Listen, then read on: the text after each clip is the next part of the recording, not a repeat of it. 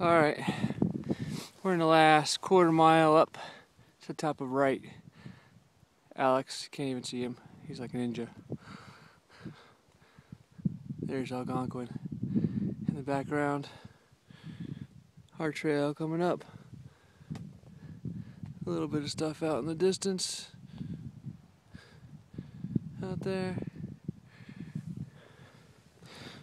Our trusty snowshoes. And me. Going up.